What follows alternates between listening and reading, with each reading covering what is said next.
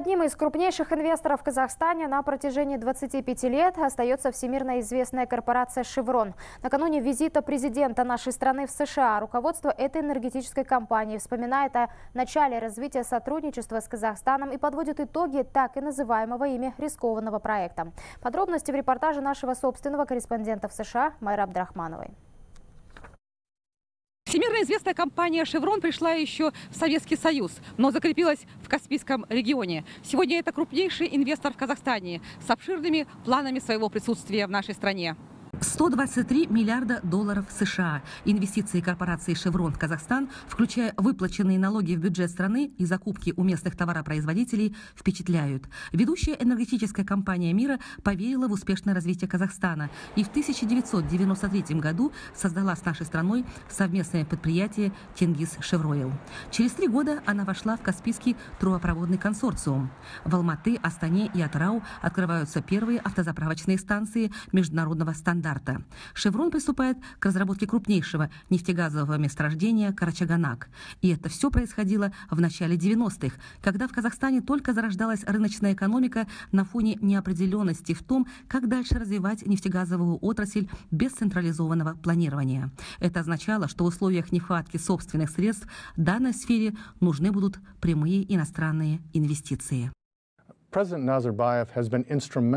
Президент Назарбаев сыграл важнейшую роль в успехе нашей деятельности в Казахстане. Оглядываясь на 25 лет назад, я понимаю, что президент Назарбаев и мой предшественник Кеннет Дер взяли на себя большие риски. Президент Назарбаев рискнул довериться Шеврону, а Шеврон пошел на риск инвестиций в новую страну. И я думаю, что нам всем очень повезло, что два этих человека смогли поверить друг другу, смогли поверить в общий успех. На протяжении всех этих лет президент постоянно постоянно оказывал поддержку «Шеврону» и нашим партнерам с тем, чтобы разработка «Тенгиза» и наша деятельность в Казахстане были успешными как для страны, так и для компании.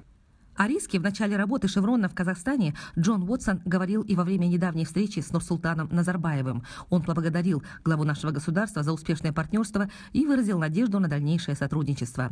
Применяя инновационные технологии, американской корпорации удалось не только провести разработку сложнейшего месторождения, но также повысить уровень безопасности труда, охраны окружающей среды, инвестировать в социальные проекты. Поддержав призыв главы государства, «Шеврон» помогает диверсифицировать экономику нашей страны. С 2003 года компания владеет и управляет Атырауским заводом полиэтиленовых труб.